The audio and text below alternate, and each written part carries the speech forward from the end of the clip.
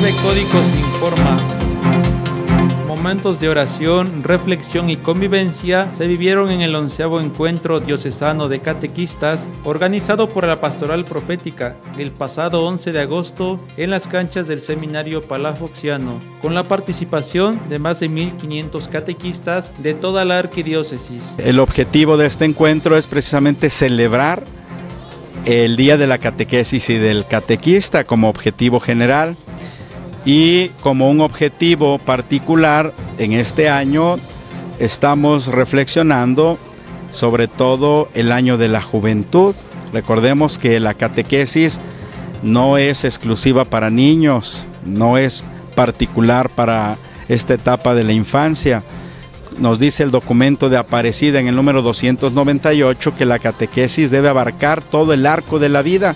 Y entonces hoy Queremos nosotros iluminar esta etapa maravillosa de los jóvenes, no solamente para los catequistas jóvenes, sino también para quienes son acompañados por los catequistas en este nivel, y no solamente para quienes reciben sacramentos, sino para quienes en este proceso de formación quieren ser alegres discípulos misioneros del Señor.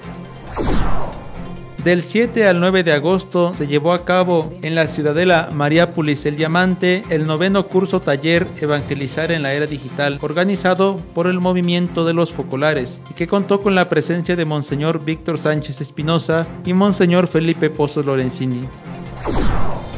Como María, discípula y misionera de Jesús, fue el tema principal del retiro de mujeres de la parroquia Nuestra Señora de Ocotlán del pasado sábado 11 de agosto, en el que participaron alrededor de mil mujeres. El pasado viernes 10 de agosto, Monseñor Tomás López Durán presidió la Santa Misa en honor al niño cieguito en el templo de San Joaquín y Santa Ana, donde se venera esta imagen.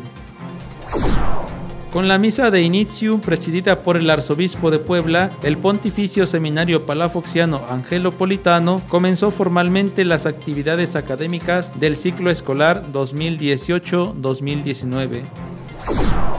La Dimensión Familia Puebla llevó a cabo el pasado domingo 5 de agosto la jornada para las familias que viven situaciones difíciles o particulares 2018, en el que participaron matrimonios con problemas, parejas en unión libre, separados o divorciados, en nueva unión, solteros, divorciados, viudos y madres solteras.